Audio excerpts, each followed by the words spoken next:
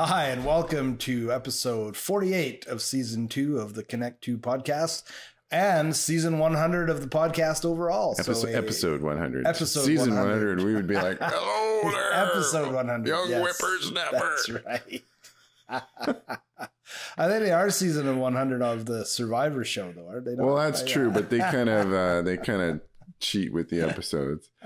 So uh, if you're new to the channel, rate, review, and subscribe. We're actually videotaping this too. That's right. Oh, Um, didn't introduce ourselves. I'm Jeff Cullen, I'm Mark Hughes, and, the Sparkster is back. the Sparkster is back. Um, he doesn't usually appear when we're just audio Yeah. because why would he? So woo! Yay! Happy Congratulations, Mark. birthday! Yeah, 100, so far. 100 episodes. Yeah, episode 200 coming up. yeah, right, right around the corner. so today we have coffee again, of course, as usual. All right. So I'm going to pour it a little, uh, hopefully some uh, ASMR. Um, I don't even know what that stands for. There's one for you, and one for me. There you go. Thank you.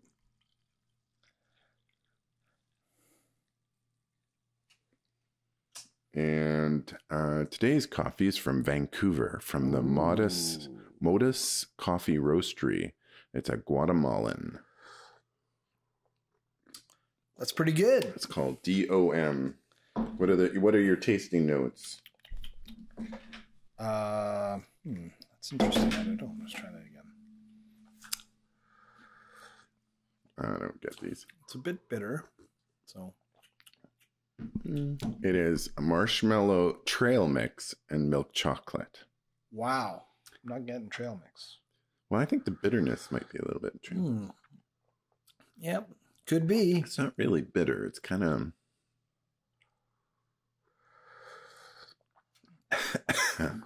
anyway, there you go. A wonderful time had by all. Hey, got any All dad right. jokes? I have a couple of good dad jokes. Oh, excellent. So, uh, what happens if you put? Uh, what do you get if you put root beer in a square glass? I don't know. Beer.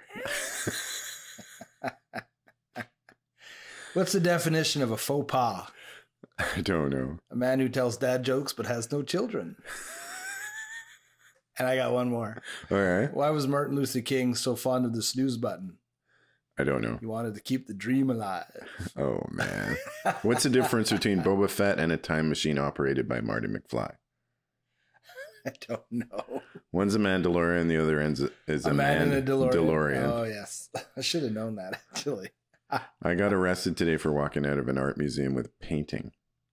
I'm just so confused early because he earlier asked the security if I could take a picture, and he said yes. and uh, Words matter. Oh my god, what the hell is that? a geography teacher asked if I could name a country with no R in it, and I said no way. there you go. That is uh, that is my I uh, jokes for today. I I think they might be Norwegian. They might be. Dan- I think they're Norwegian. Um, I just have a new tailor. This is not a dad joke. This is an actual. And I- I'm pretty sure they were Nor- either Norway or Denmark. You know, you think I would have paid attention, but they were very serious, obviously, about this whole uh, uh, Nordic uh, Viking heritage Okay. because they literally have a suit of chainmail in their living room. Really? and I saw their wedding pictures, and uh, I only I've only met the the lady, but her husband was dressed in full uh, armor for their wedding pictures, and she was on a white horse, and I'm like, man, you guys are taking this whole Viking thing pretty seriously. She did not disagree. Um, Bring back the Vikings, I say. We'll straighten everything out. some say they never left. Uh, what'd you learn this week? Oh, okay. This will be my one cynical con- comment for the episode. I learned that you can bring a man to the polls, but you can't make him think. Well, an, an alternative to that is you can't fix stupid. Yeah. It, you know, it's not stupidity. If it's if it's not It's not- apparent, this is the day after the Alberta election. you know, I, it is not stupidity. I think my wife and I have talked about this at length. There's a uh, I'm reading this book, right, called How to Speak to a Science Denier. And Mhm. it really comes down to identity and fear And tribalism and tribalism and generative voting. and a need to belong. And, you know, unfortunately, Yeah, and they're cheering for the colors. the duality is as much our fault as it is the other side.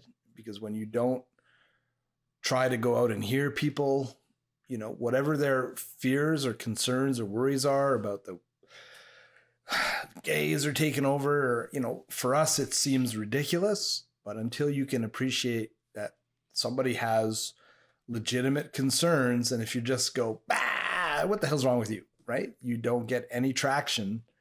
And it requires a huge amount of, of patience and, and meditation, I think, to be able to do that. But I think that's what we need to do. You can't just be dismissing people as kooks. I mean, some of them are kooks. Eh, Some of the people leading behind, but I think a lot of these folks are decent people. They like this, you know, if you could do uh, um, two Venn diagrams of shit that they find important, there'd be a real degree of overlap. But there's some stuff that they are deeply worried about, deeply concerned about. And I think we do a poor job of giving them, you know, uh, I'm going to say respect in some reports. And I'm as guilty of this as well because you get caught up in the rhetoric, right? Same in the States. You know, you have some of these MAGA extremists and it's kind of fun to make fun of them. And some of the progressive websites like to show people what the ridiculous thing they say. But at the end of the day, there's something behind that. And uh, if you think the Well, earth I is mean- flat, it's because you're afraid of something. Well, I think fundamentally the province itself is is a fairly is a fairly center center right kind of group of people, and I think all the UCP really needed to do, and what they somewhat successfully did, was convince a number of those people that yeah, we're the same party your dad voted for, and his dad, and all that. kind Yeah, of stuff. Because I- I- basically, in some way or shape or form, for the last 88 years, other than a blip of four, four years. Yeah. We've had the same kind of right wing party before it was I Socreds think and then it is was a different animal, though. These are No, I, I. I agree. It, it- Yeah. there's a there's a level of um uh, well, I mean the difference is it's one thing to disagree with part I, I kind of put it a tweet to this effect. It's one thing to disagree with a party uh party's policy if you think that those people are still competent. Okay. And fundamentally the issue I had with the UCP um and, and you know I I was going to vote NDP all along, uh, but uh, the reality is is that uh, losing to a competent party that you disagree with is one thing, but right. Losing to a party that is corrupt because uh, they they preach all kinds of ethics things like Absolutely. continuously. They seem to be incapable of staying on the straight and narrow. Keeping their hand out of the cookie jar. Yeah, I mean it's Yeah. just but that's a, that's a sense of entitlement. the right, the, the, the the the the lying, uh, the incompetence. I mean, they've really got what what's happened is because of the crazy nature of the the the way that people get elected and how difficult it is to put yourself out there. The only people willing to put themselves out there are a little bit narcissistic, and um, and they're not necessarily all that competent. And in particular, the UCP group of candidates, they're wackos. well, a lot of them. Yeah, absolutely. Not all of them. No. Uh, well, I said a lot of them. Yeah. and um, but not all of them. And, some of the ones that that have now lost, you know, were the perhaps the more more rational. More yeah, reasonable. even though they were still ideological. But I, I I really think, and it occurred to me this morning, you know, the NDP, like you say, they've only had one kick at the can. There, there's a long history of well, and there was a split. There was a there was a three way three parties. Right. There was the wackos Yeah. from the Wildrose. There was the Progressive Conservatives, and then there were, it was an NDP. It was a clearer Yeah. clearer choice. But see, I, I hope they learn from this because you know when you've been in in in opposition, and like my wife pointed out, there was years since we've lived here where they had like you know two members yeah, yeah. right? And so I, I think they're still coming into their own as a as a significant party, and I hope, just building on what I said, for the next time around, if they can go and find change their message a little bit, be a little bit more, you know willing to to listen because I think if you could get an NDP candidate from a small rural town, because the NDP here are not a really leftist party. No, they're pretty If you center. find a, a a reasonable person who understands the concerns, and you, it's a little bit like when Obama, you know, won because what was his message? You know, yes, we can. People don't like. I mean, it's kind of fun to be like the opposition. Like, what did they say?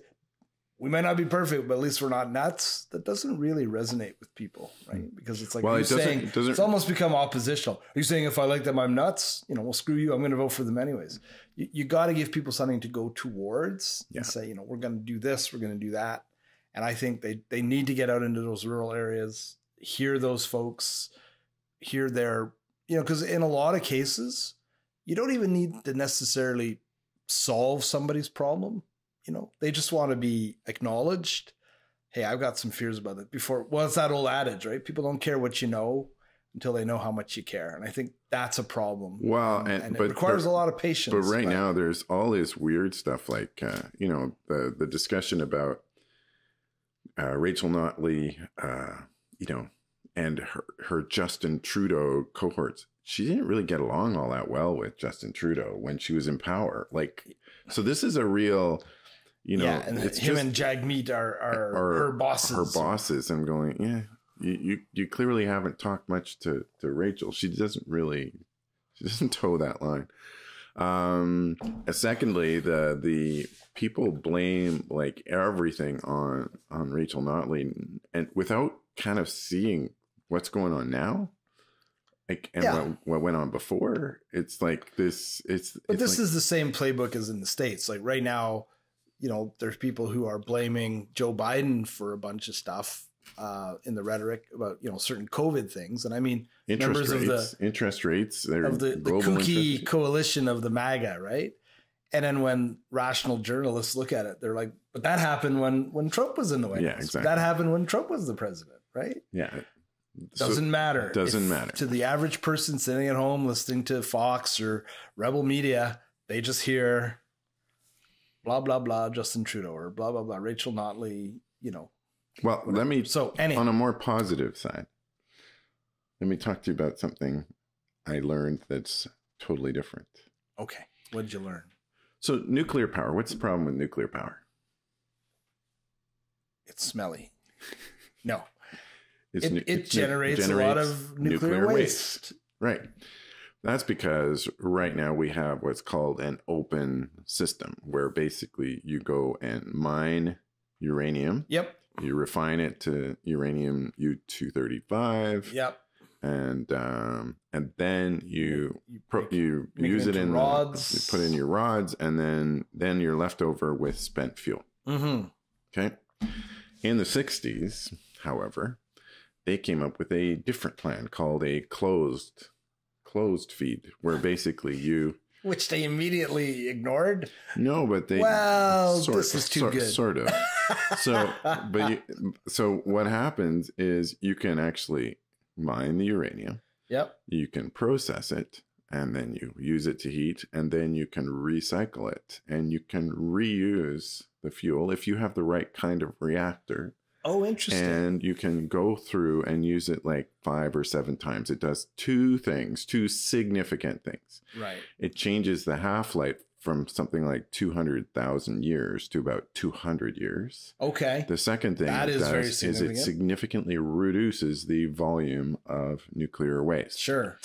Now, what happened in the late uh, 70s um, was that uh, Jimmy Carter was really concerned about the proliferation of nuclear weapons. Okay. So they banned the recycling and the refining because one of the Oh, byproducts okay. of the refining process is plutonium, which can be used on in bombs. Yep. Even though uh, only a couple years later, uh, when Ronald Reagan was in power, it was found that this this this program wasn't really doing anything. Uh, he canceled that ban on yeah. refining, Did he say? but a lot of the nuclear infrastructure was was geared to one particular style of nuclear and Okay. but this technology is not new this technology has been around since the 60s Wow. and could significantly change and greenify nuclear, power. power. nuclear power. and that's traditional. So fission, And there is enough nuclear waste currently in the US yep, that if they had nuclear waste recycling uh, reactors, yep.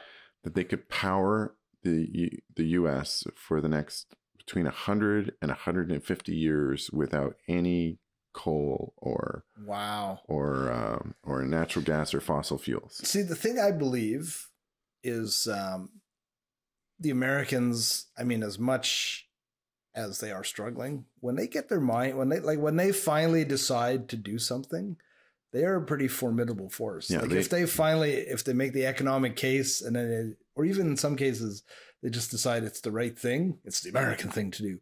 But once they get behind something, look out, man! Like they don't, they don't screw. Well, apparently, around. apparently, the main thing that's that's slowing it back is the uh, the cost. Right? So it's a cost thing right now, but it is if you think about it, they have all of these. They're called dry dry casks where they store the nuclear Right. waste. Uh, it's all Remember for a while there. they, they were there was talking about we'll just put it at the bottom of the ocean or we'll Yeah. we'll we'll have these missiles we'll fire into the to the bed of the ocean and then the problem will just go away. Yeah, It's like, exactly. yeah, I don't know about that. That's like carbon Or sequestration. maybe shoot it out onto the moon. And if there is, you know, if there's anybody living on the moon that we don't know about, that'll probably get their attention. yeah. Exactly. hey, what the hell is this? So today, uh, today we're talking about transformative AI. Ooh. Okay. So I listened to a podcast and uh, I don't usually listen to podcasts twice, but I listened to this one twice because I was so Wow. uh, taken back by the um, the concept there. So there's there's um, there is a concept called a P doom. Have you ever heard of a P doom? No. So P doom is the probability at which uh, the human race is going to be doomed by something related to technology or AI.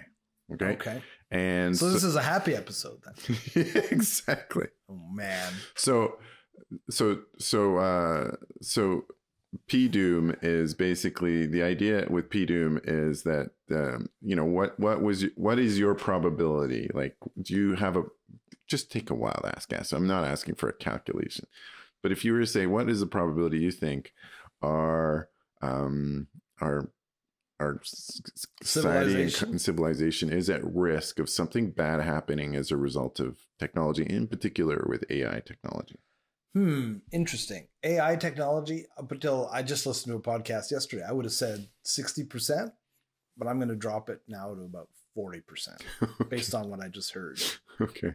Well, I was thinking more like 10%. But uh, but what's interesting is and the the That's two, my two- the- optimistic the, the, number. the the podcast that I was listening to was Hard Fork and they drop every Friday and it's always super interesting. Hard fork? Hard Fork. Okay. It's uh, two tech columnists, one from the New York Times and one from Platformer. Okay. And they basically are always talking about new things AI. And there is like a ton of stuff going on. Um, so everybody's heard of Chat GPT, probably. I mean, if you're paying any attention, Chat GPT or the Bing version of Chat GPT, Right. the idea is that everybody's saying like oh ai is getting to the point where basically it's kind of training itself so there's a couple of key concepts to think about with this that make it super fascinating so um so one of the things about it is that uh, some people will talk about these large language models uh, in a way where they say well it's a predictive thing so it's just predicting what you think it wants you to hear okay Okay. so, um, and that, that doesn't actually know anything about the subject matter that's involved. But that's not really true because, because the easiest way for it to be able to predict is if it actually does know something about the things that you're going to be talking about. So just, you know, saying that it's just a language thing is not enough. Like that is kind of a call and response. Hello, how are you? The appropriate response is, I'm fine. How are you? Kind of that is but if you start asking questions like um, um, write me a speech in the obama style of speech writing it knows the speeches that obama has done and Right. the topics that So so that's why their large language models are using a ton of Sure. information. Or if you're trying to do some calculations or whatever. So one of the things that became apparent between ChatGPT 3.5, the free one, and Mhm. ChatGPT 4 Mhm. is that um, some of the things like some of the scientific stuff and some of the math stuff Okay. was really poor in 3.5 but is super good in 4.0 so there was like a massive over the course of about six months a massive jump in just the the chat gpt version Right. Okay so the question becomes at what point so one of the things one of the skills that that uh ChatGPT does is coding, right? You can tell it to build a code, like build me a website that does this, Right. this, and this. Okay. So the advantage of an AI is that it's drawing on huge amounts of information Sure. and it doesn't go to sleep. Right. So it basically can keep working on stuff. So suppose you have a company like Google. Okay. So Google is a software company. They hire software engineers to do coding. Yep. So presumably, at some point in time, you're going to first start with the uh, the software engineers using the AI tools to help them code Right. until you get to the point where you don't need the software engineers to because now it's a manager and says i have these 12 ai bot agents i'm going to get this person this bot to work or this agent to work on this Right. this agent to work on that and then all of a sudden you end up particularly with a software company where you don't really need almost any people if you need any people at all I was gonna say, pretty soon you don't need the manager either. well exactly. And then, so one of the ways that AI learns is uh, they call it reinforcement. So there's basically it's it's kind of like when you're training a dog. I was gonna say it's Okay. kind of like a puppy. So basically, you get uh, the behavior that you're looking for, and then you get the um, the the human provides kind of a Right. positive reinforcement, like a thumbs up, uh, not a real thumbs up, but kind of a proverbial. Nor do they hit it on the snout with a newspaper, Exactly. which is not a way to train a dog. No. positively either. So uh, a couple of things. So a lot of the the generative, the, a lot of the AI that's right now out there uses this human based positive reinforcement. So as they get it more correct, um, they get that positive thumbs up, a virtual thumbs up, and that's the driver for a lot of the development. Okay. So a couple of things that presented some real problems is a um, a lot of the like if you go to a mechanic and you say i need uh I, I need an engineer to design me a transmission for this car right Yep. so that's a physical thing Right. right um they'll know how it works they'll they might tweak certain things uh, but with the software engineers dealing with the ai they don't actually know how it's doing stuff because right, now sure. they've kind of set the framework in place and now the ai is generating the new code that helps it figure out how to do stuff so it's not Right. pre-programmed back in you know back in the day when i was programming you basically you told it every single Sure. thing it had to do Fortran seventy seven. yeah and uh And then well Waterloo, i even i even Waterloo Fortran five. well i even did stuff in assembler so like Yeah. which is like very low level code. Yeah. And um, so with this now, the AI is generating the code to generate the code, Right. right? So the software engineers don't actually know how it works. And a lot of times they don't really know what problems they're trying to solve. So Like- when you don't know what the thing you're doing works, you're no longer really an engineer. That's you're true. starting very quickly becoming a bystander. you're kind of a bystander. Yeah. It's exactly the correct. guy that's mopping the floor. He's like, "Shit, I don't know how it works either, but I'll I'll watch it for like you know half what they're paying this guy. well, and Come you go in." and you go and and this stu- stuff sounds like it's straight out of sci-fi sci-fi world gloom thing like an an old star trek episode. Yeah, um so what happens when so right now the thing that's controlling it is the thumbs up from the sure, from the human. Right, what if the AI decides, well, I can do a better thumbs up if I control the thumbs up and I don't need the human anymore. Right. So, um, so there is an ability. To, so there's this kind of progression. If Sure. you think about it, it's a logical progression, basically to slowly speed up, streamline, and you will eventually eliminate humans from the equation. Right. think about this from a different perspective. You are using AI right now. People are using it to make pictures or to, uh, to some extent, they're using it for um, movies to do some of the CGI and the complicated uh, stuff related to that. They're Sure. using it for speeches. They're using it for deep fakes. They're using so all of this kind of fun stuff. Yeah. Okay. What if you start using it for sure they're it for- strategies? Sure, they're using it for porn in Well, ways that we don't really understand. Well, what, what happens with chess, right? Chess, Right. it's gone. So chess now, a lot of um, chess is fairly rigorous in terms of how it approaches, and there's all these strategies, and a lot of the old deep blue computers for chess were doing like by by massive Sure. amount of computation, examining every possible parameter Right. of what happened. Yeah, like a Monte Carlo analysis. Yeah, in fact, if you ever play chess against a computer, they have to dumb it down. So it's actually making intentional mistakes, interesting. uh, because it has to make intentional mistakes, or it's too perfect, and you would never win. Right. So you'd stop playing with So you'd stop playing, and that defeats the the purpose. And yeah, exactly. Right. So if you start using it for strategy, So it's mocking us already. Almost. It's- So you start like thinking, playing with a child. Oh, look at you! You won. you Good thought you were so clever. Yeah. You're Yeah. like, So damn. you're in a war. You've got Russia versus Ukraine. Okay. Russia, Russia, Let, Russia. let's let, let's pick let's pick a a hot war between two, maybe China versus the U.S. and Taiwan. Let's just Okay. suppose. Sounds good. This is just this is not real. It hasn't occurred, but suppose Yeah. it does. It really is not a, ha- a happy And episode. both- Okay. Both the U.S. and China have this. So let's project this like five years in the future. They have started using AI to help with their strategy Right. in terms of logistics, in terms of deployment of certain assets.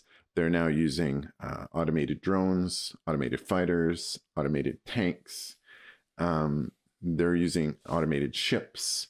Right. They're able to monitor the weather, figure out weather patterns, and and so now the generals are using an AI as an assistant to the generals for strategy.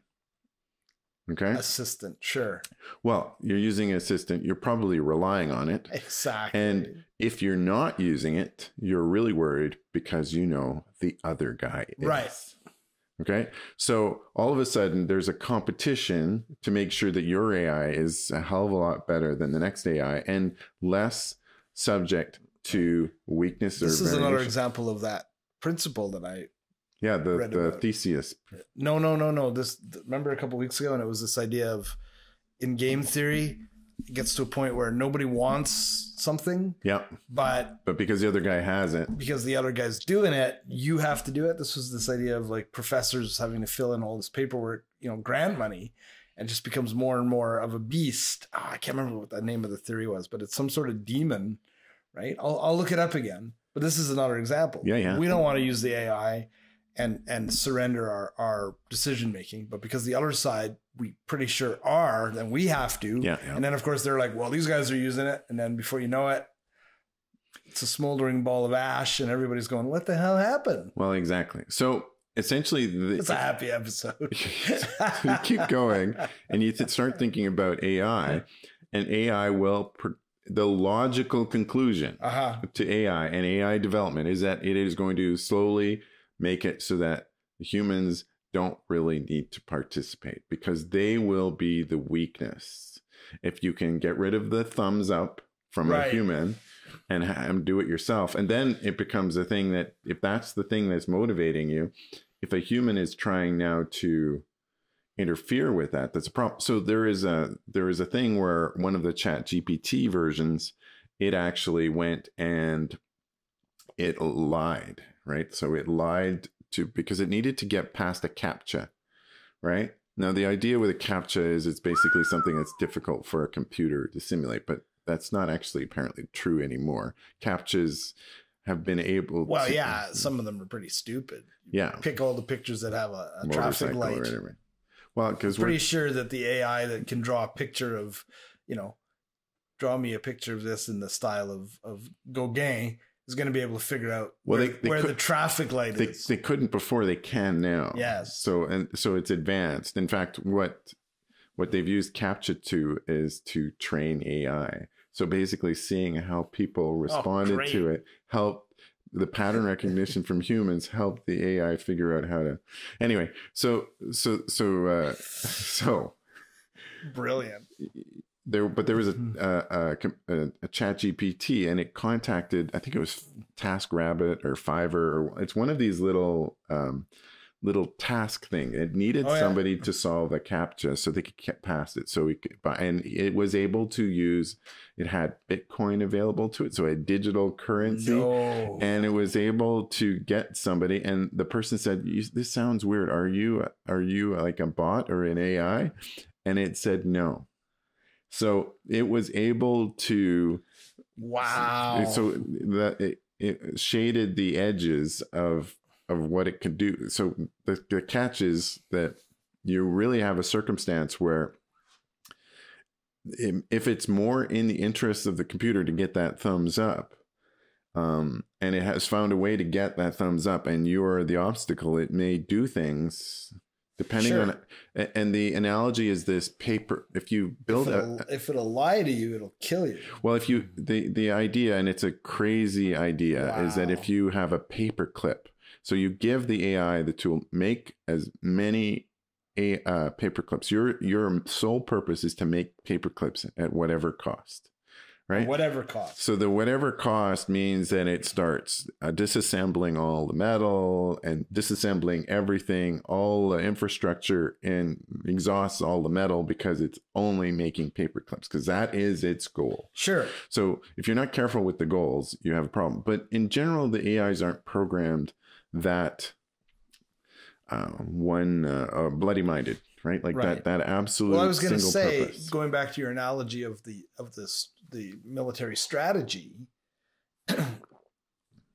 if you pull that back far enough, you still need a human to decide at some level. I think that there's even a conflict. The AI can de- de- determine strategies, but would it be would it ever conclude that China, or if it's China, that the, Amer- the United States are are a threat, or left to its own devices? Is you know there needs to be because there's more than just logic behind But- that, but you- right? There's, but you there's human about- emotion around you you greed and fear and But there's speed. So the catch is that that butts against the whole concept of speed. If there is a nuclear launch detected from Russia, they Oh, need well- to be able to decide very quickly that it's real right. and they need to respond very quickly.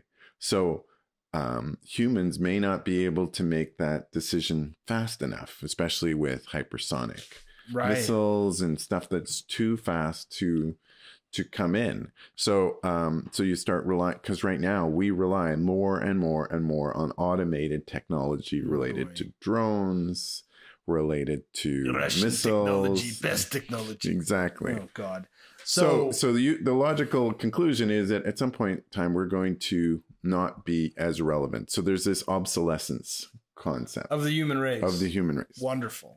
So what are we all going to do it ourselves? how do you decide Make what podcasts. point? how do you Watch YouTube. how do you, how do you decide at what point in time um, humans are having problems? So there's this conception of transformative AI. AI basically that is no longer requiring humans involved. So so how do you assess it? So this this person, uh, her name is uh, Aj- Ajeya uh, Cotra, I think is her, her Okay. name. Uh, so she's one of a number of researchers talking about this, and it, it sounds very doom and gloom. We are Borg. But the idea is, um, if you okay, let's let's let's try and figure a way to to quantify this. So, if transformative AI is such that humans are not, are, are, what you need is an AI that has the computing power of a human brain. Okay. So if you figure out the processing capability of a human brain, there's kind of a size and a number of uh, neural Right. pathways and a- Sure. Uh, so so she used that as a model. And at the rate the AI is progressing right now, Okay. Do I do I want to hear there this? so uh, how far in the future do you think we're talking about before having an AI that is capable of uh, of basically having the computing power of a human brain? Five years?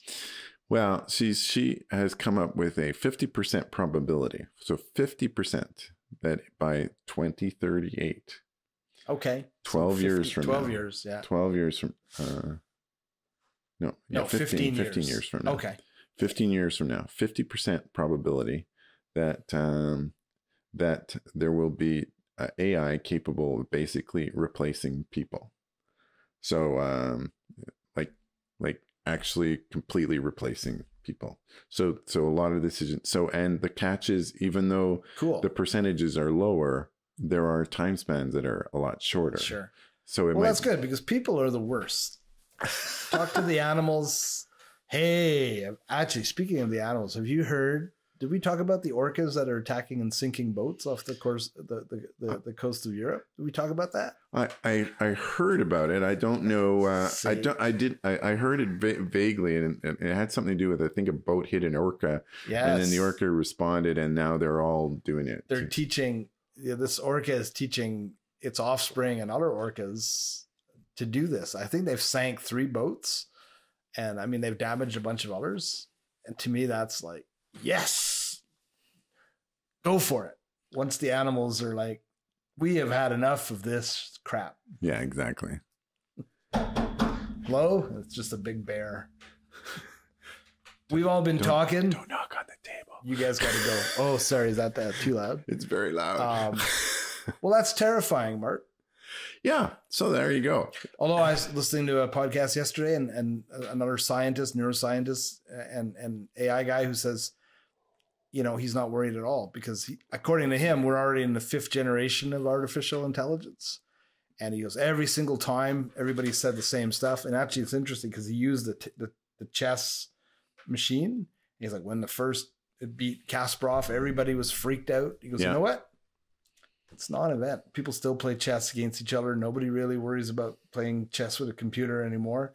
And No, we you're still right. think and we've moved on to the next Well, I think the whole like, idea- okay, interesting. I think the whole idea of the transformative AI is that it will get to the point where it is as significant as the industrial revolution. So oh, basically, I believe that. because what we're really seeing is we're seeing indications of it, Right. but we're not seeing it full blown. And it is accelerating very fast because they're using the AI to develop the AI. Yeah. So it Yeah, yeah, has yeah. gotten to the point where it is fast enough and smart enough that it is um, leapfrogging very quickly. It is a bit worrisome when people are saying, we don't really know why it's doing what it's doing. Well, and the real question is like, Shouldn't you shut it off? shouldn't then? you shut it off or can you shut it off? And it will they be able to hire mercenaries using Bitcoin to prevent you from shutting it off or taking, pulling the plug and So this is the or then maybe uh, maybe seeking out to the dark web to get people to transfer their consciousness. I mean, we've seen this before. somewhere. Remember, there's a just watched this episode of Star Trek, the, the original series with the uh the Mark V computer. Yeah. And the uh oh, what the hell's his name? It's not Dr. Marcus, but it's the it's the computer science. It, oh. They reference him in Picard because the the uh, Daystrom, the, da- The Daystrom Dr. Institute. Daystrom, Yeah. and then it turns out he used his own brain engrams you know as the as the base code and that's exactly what it does right it locks out the power source they try to shut it down and then it phasers some guy into oblivion Yeah, yeah. and then ultimately the only thing that's able to save it is because kirk understanding that daystrom has a certain ethical principle still and it because he encoded the machine with its ethics he's able to kind of trick it into this ethical Ethical, logical loop. right Yeah, You know, but the we, don't, we don't kill to kill is evil but you just killed therefore you are evil. i am evil and Yeah. then it shuts itself down right Yeah, which sounds really great for a TV show. The problem is those TV shows have a hero and a protagonist who needs to win. And Well, and and the- whole idea, you know, how would you get the computer to do that? Well, we've we've got a, a human ethical framework at the base of it. If it's developing its own iterations and they go, don't know what it's doing, man, there's no way to know how it will determine. well, and what has Elon Musk done at Twitter? Right? Like, just take a step back. What did Elon Musk do at Twitter? He went and fired three quarters of the, the staff. right? Okay. What that has done is make all the other tech companies realize, oh, maybe we got too many staff. We right. can get rid of Which And- probably they did. Yeah. And who did they get rid of first? All the ethics people right. for Google, for Microsoft, for for uh, Facebook. Holding us back with all these concerns. They are ethics. right. Like, oh, nice to have, don't need. Yes. Yeah, and the the problem is is that uh, a lot of the software engineers are, gonna- are sitting back and saying, uh, "Well, let's see what it does. Yeah. Yeah. like, yeah. wait and see." It's kind of like, That's right. Not the best people to have in charge of anything. no, I mean, really, you need to sort of look forward, see what's the worst thing that can happen, Right. and find ways to make sure that you don't do those things.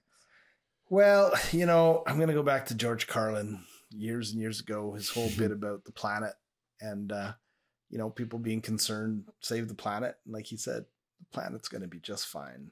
Save the people are screwed. We're, we're screwed. The planet, we're going away.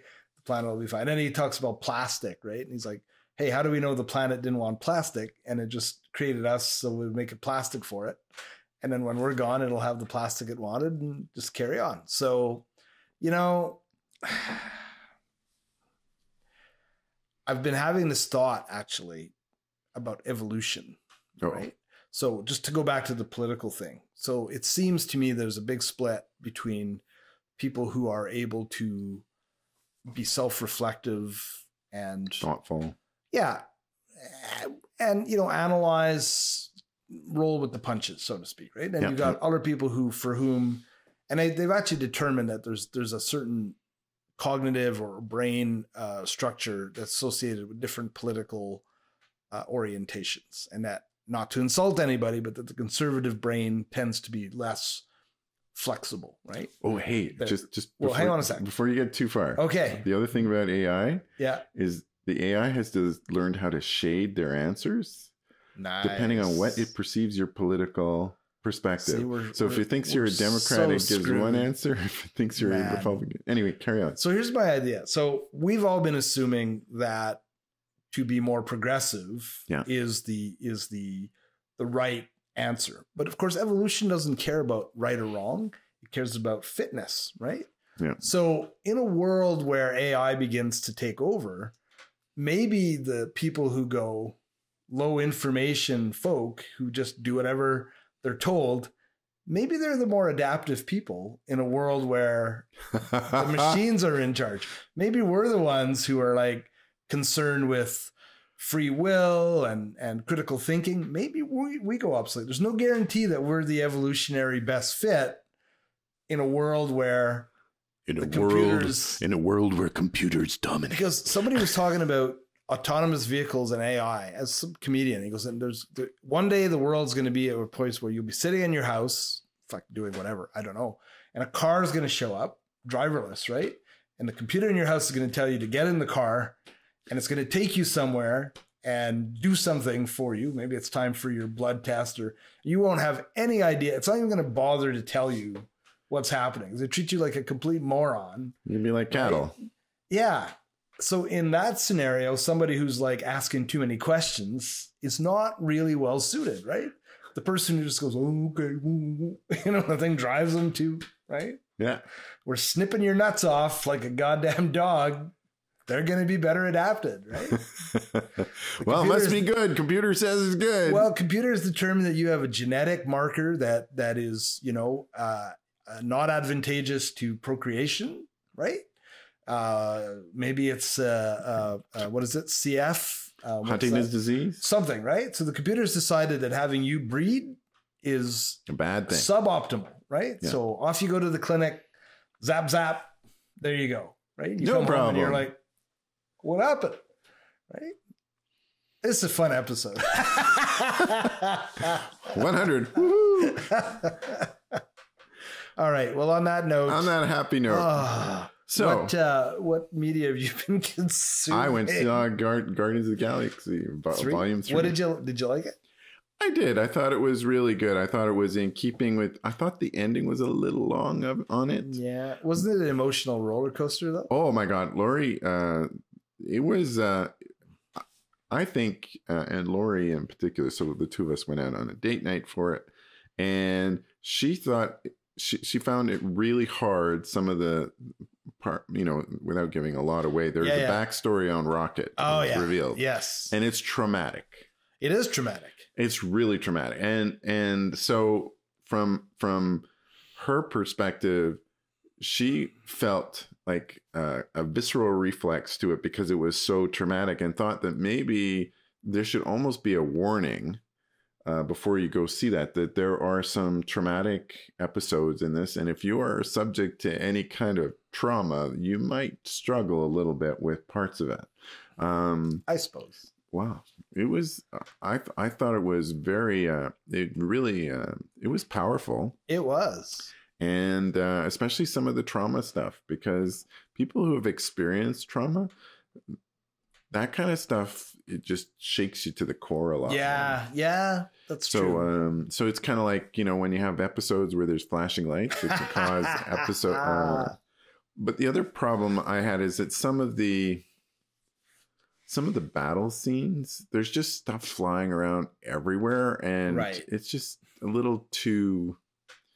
I mean, it it's it looks good, and it's but I find all these battles are just becoming more and more and more improbable because they're just right. so They're letting the AI design it. yeah, it's not like oh, let's have you know our hero run through a hail of bullets and all this stuff, and th- you know, you just need something small and you have a problem, right? Like, Right. like uh, so. I mean, even in this, there were some of the uh, the guardians end up with like you know serious injuries, Right. um, but they're able to recover. Yeah. You just stick a med thing on their arm, and all of a sudden that broken arm is healed. Right. Right. Like, you know, it doesn't work that way. Yeah, I enjoyed it. I thought I, I agree though. There was certainly some traumatic parts. I thought it was yeah. I thought it was good. I thought it was a nice close to the trilogy. but it's a it's a good close and it you know it, they it pro- still can without giving away. You know, there's still some there's still uh, potential room, to room use for continuity of, yeah, of and the of Kang Dynasty, just- and so Yeah. yeah. So Yeah. I liked it. Um, anything else? Any other media you're consuming? what was the name of the bad guy in the Guardians? Uh, it was called the higher evolution The, the High Evolutionary. high Right. evolutionary. Yeah, because it turns out he's just creating all these uh, planets and planets species and species and then destroying, them. because they're not. Yeah, doing what they sounds a little bit like the whole arc story, though, doesn't it? Yeah, exactly. Uh, what else? Uh, I haven't really been had much time to uh, to watch a lot of other media. How about you? Uh, reading this book on on you know how to talk to a science denier. hmm Um, watching watched a good episode of Enterprise, so I'm just kind of making my way through Enterprise, Justified. Really started anything new. Looking forward to Flash to the Flash movie. Yeah, I saw the I saw the uh, Um, trailer for that. That that looks quite something. picked up a couple of Jack Reacher novels at a used bookstore. Haven't started those yet. Okay. Just really enjoying that mindless entertainment. And uh yeah. And that's it. Yep. Well, there's a hundred hundred episodes. Good work. Excellent. Hopefully the AI will let us continue. yeah, uh, yeah.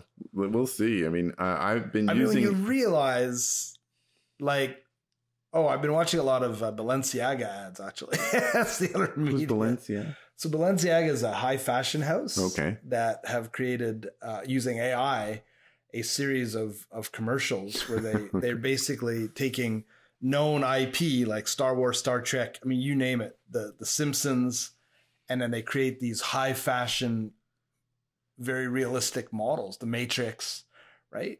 And and it sort of kind of looks like the person, the, the actor, but but highly stylized. Now it turns out they got AI a, is listening Oh, to you. they got a little bit of a problem. No, with, it's uh, listening. I to know, you. I know, I I saw I don't that. know what it was doing. a little bit of a problem in that they may be promoting child exploitation Oh, great.